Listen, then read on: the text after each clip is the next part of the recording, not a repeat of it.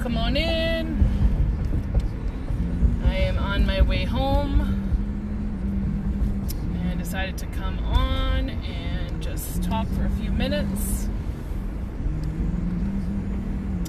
Hello, hello, how are you? I really can't see who it is. I'm sorry.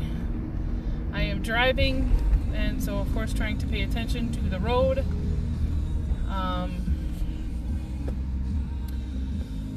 How is everyone doing today? Is that Malia? No, I can't see who it is. Oh, it's Kay. Hi, Kay. I couldn't see your picture. How's it going, sissy? I hope it is going well. I hope it is going well. My thoughts today. You know, I I really am blown away, and I shouldn't be, but I'm blown away by how God speaks to me through other people.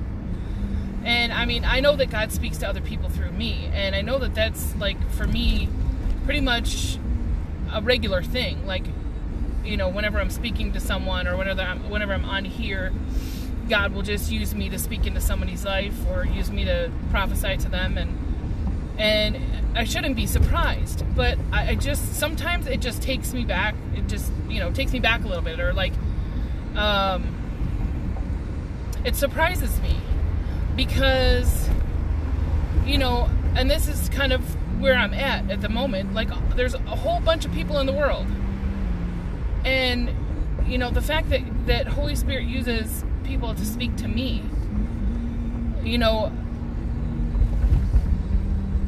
it, it's such a blessing and it's so humbling. It, it, it's it's hard for me to explain exactly how I'm feeling, but there was a word um, that was uh, given to me by a friend of mine yesterday, and in that word there was an explanation, and it was really elaborate. It was really detailed. Um, but when I listened to the word again God kind of gave me something in addition to what she said.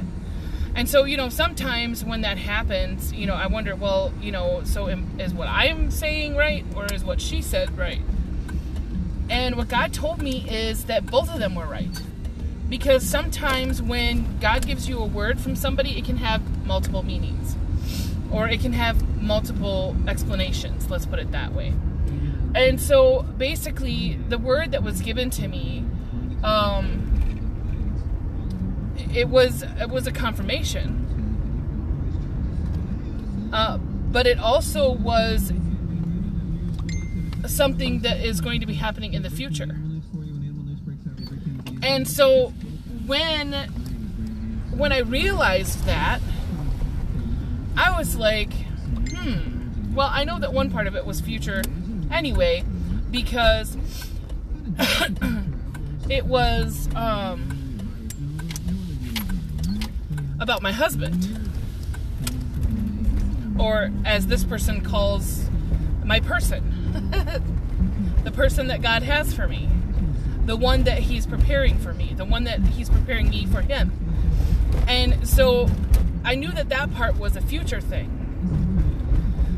And then there was another part that she said, and I knew that what God, what God real, revealed to me was that it was actually a past and present thing. And so it was kind of neat to see how God made it mean made it mean something for the future and also for the past and the present. And so it's just really neat to see how God just turned that around for me.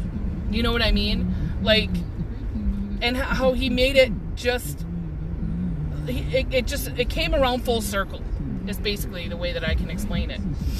Um, that, yes, uh, my husband is coming, but it was kind of like almost saying like what was going to happen in my life prior to him coming into the picture.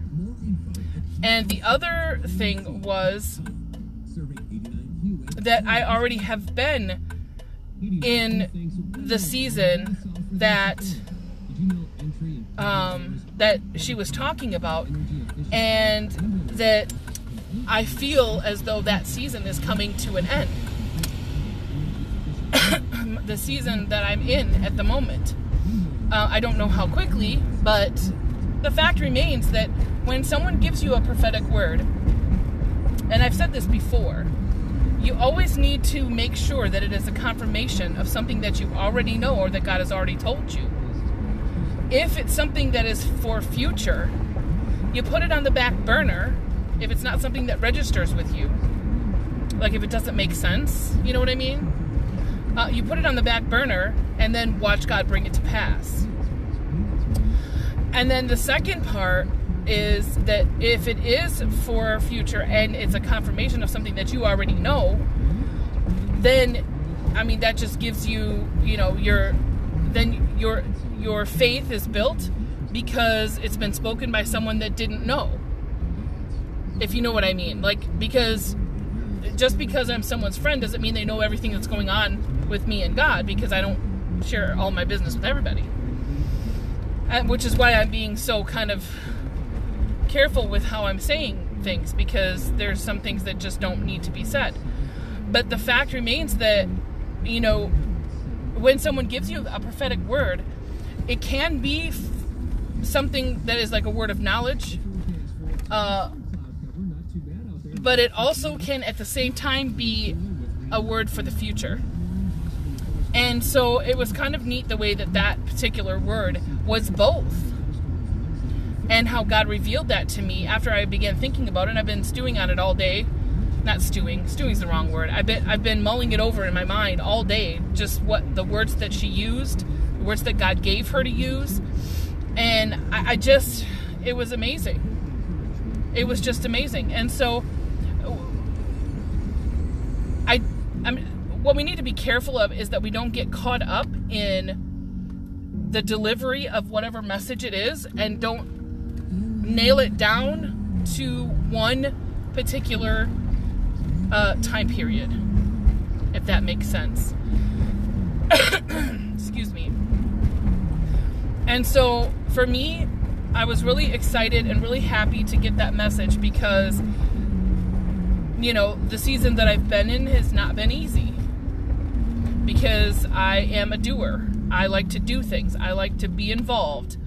And you know, when you know, when God tells you that you need to put the brakes on and you're someone who is you know, here and there and everywhere, well, then you have to understand that you've got to take that break.